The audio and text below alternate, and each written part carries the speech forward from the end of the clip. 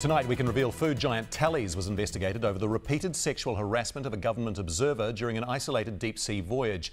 The company is already facing a WorkSafe review after seven whistleblowers came to One News with fears about Talley's veggie factories.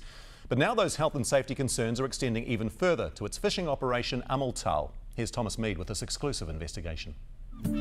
Every day, dozens of Talley's employees head out to sea relying on the company's promises of a safe family environment.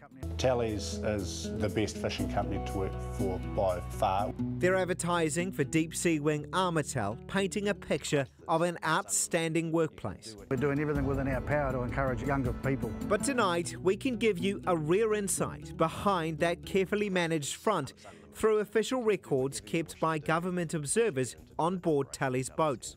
The public servants monitor the entire fishing industry, joining voyages from time to time to keep an eye on operations. The notes obtained by One News through the Official Information Act reveal the ministry raised concern after a nightmare voyage on a Talley's boat in late 2019. A female government observer reported being repeatedly sexually harassed by two crew members while isolated at sea for 10 weeks. Exact details of what happened have been redacted, but we do know it involved sexually suggestive comments and was described as a serious incident and alleged sexual misconduct. Another unrelated incident had also been reported at a separate company, and MPI decided to order an industry wide review looking into the bullying and harassment of their observers. The work took a year, only revealed when we started asking questions. We have got an absolute zero tolerance for bullying and harassment. So I want to be very, very clear that that type of behaviour is unacceptable. It was one of 20 health and safety incidents involving observers on Talley's boats in the last three years. Some are just bumps and scrapes, but others are serious, including a fire at sea just a few months ago in July. A maritime investigation is still underway, but records show the high potential incident began with a fire in the engine room, cutting the main power supply. They extinguished the blaze without injury, but the engine was broken. The crew forced to abandon their trawling gear and left freaked. And this is one of those situations where a fire really is a worst case scenario on, on a fishing vessel. This was shut down very, very quickly. Um, all crew and our observer were safe.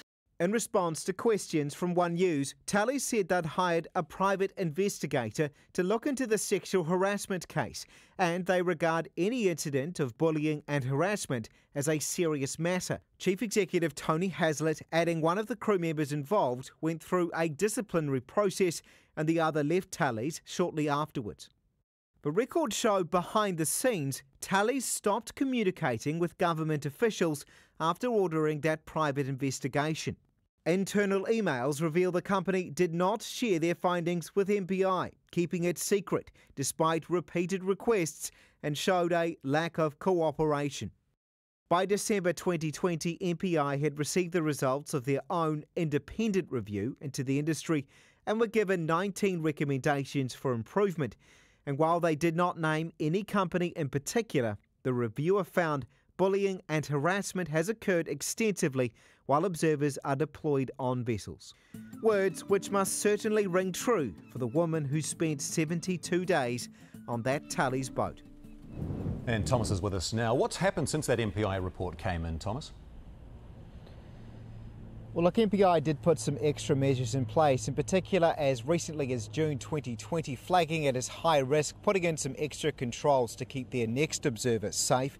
It remains flagged some two or three years later as medium risk today. As for Talley's, they did not respond to a number of questions we asked them. In particular, they did not say why they kept the results of their own private investigation a secret. They also would not confirm whether they saw the incident as sexual harassment, instead referring to it as inappropriate comment uh, in a statement to us. And finally, would not say when asked whether their workplace was safe for women. Are observers safe out there?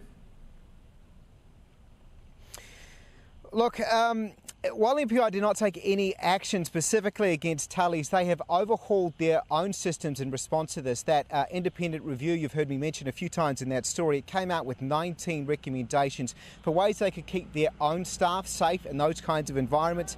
They accepted or partially accepted all of those. And look, there's a significant amount of detail in that review around other concerning incidents that have happened across the board in the New Zealand commercial fishing industry. So tomorrow night we will continue our investigation uncovering a world of bullying, harassment, and violent threats.